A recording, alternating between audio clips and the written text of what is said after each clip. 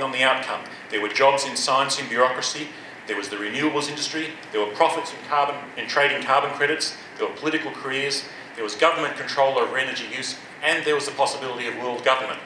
So, rather than admit that they were wrong in the mid-1990s, the governments and their climate scientists now outrageously maintain the fiction that carbon dioxide is a dangerous pollutant.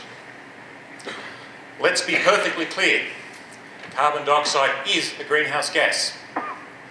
Every bit of carbon dioxide we emit does warm the planet a little bit.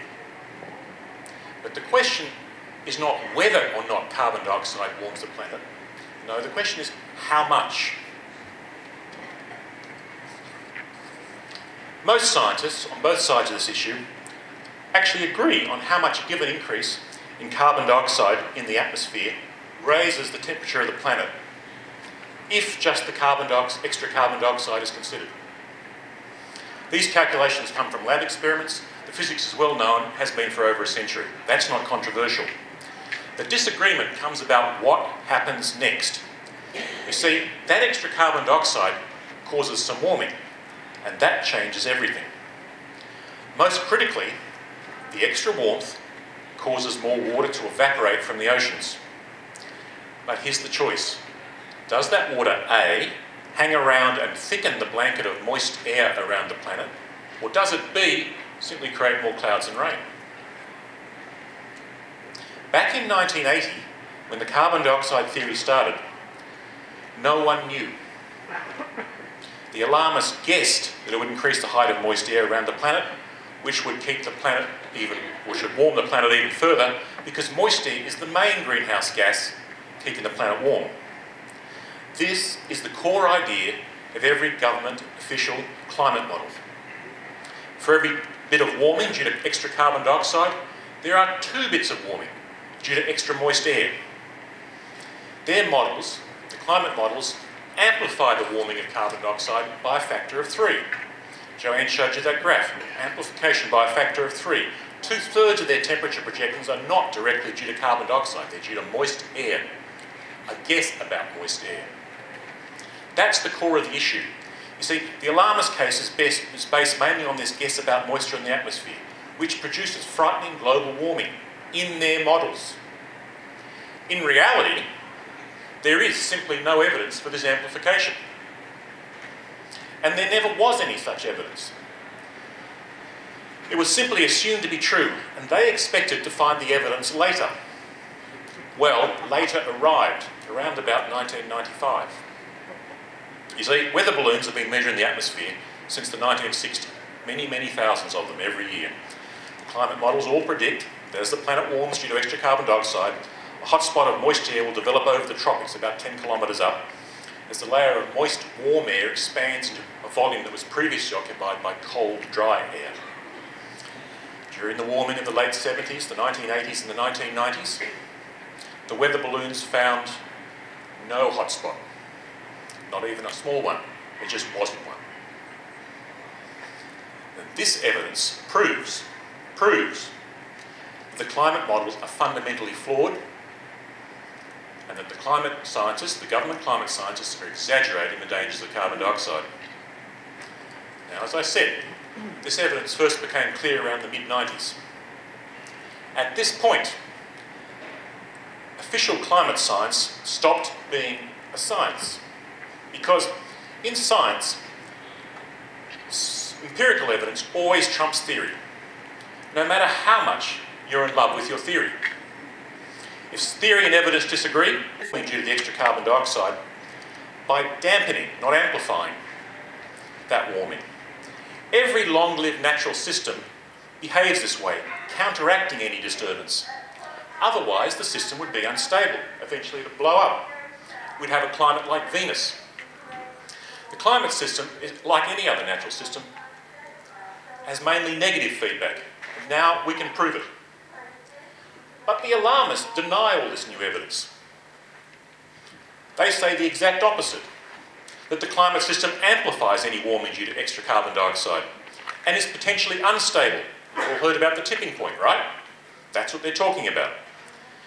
It is no surprise, therefore, that their early predictions on the earliest ones are the best because they've had the longest to run, their predictions of planetary temperature made in 1998 proved much higher than subsequent reality. We'll show that evidence in a moment. So their models are also failing the crucial te test of predicting temperatures. The government climate scientists has selectively denied evidence, and now they're concealing the truth to hide the failure of their theory. One way they conceal is to mismeasure the temperature. The official thermometers are often near artificial heating sources. Global warming is measured in tenths of a degree, so any little nudge to those thermometers is pretty significant. The misrepresentation here is that they use selected thermometers in artificially warming locations and they call the results global warming. They say that 2010 was the warmest recent year, but this was only true at various airports, near selected air conditioners, and in certain car parks. Global warming is also measured by satellites, which measure the whole planet 24 7 without bias.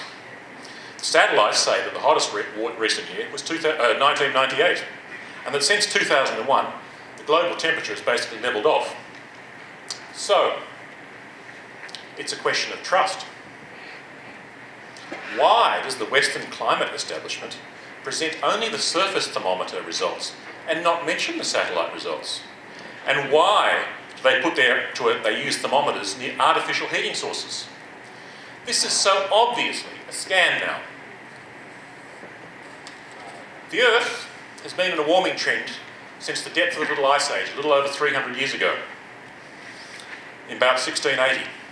But human emissions of carbon dioxide were negligible before 1850, and they nearly all come with post-World War II industrialization So human carbon dioxide can't possibly have started this trend or even sustained it for most of its length.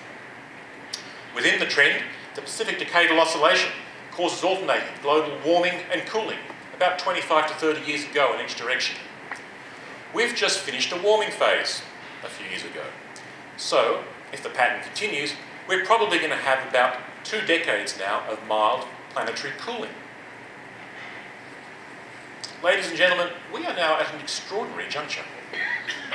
Official Western climate science, which is funded and directed entirely by Western governments, promotes a theory based on a guess about moist air that is now a known falsehood.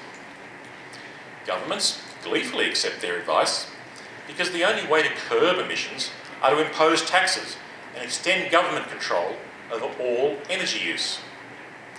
And to enforce emission reduction worldwide means dictating energy use in every country, which would quickly lead to world government. How exciting for our governing class! To those of you who still think that the planet is in danger from our carbon dioxide emissions, sorry, but you've been had. Yes, carbon dioxide does cause global warming, but no, it's only a minor cause and is not worth doing anything about.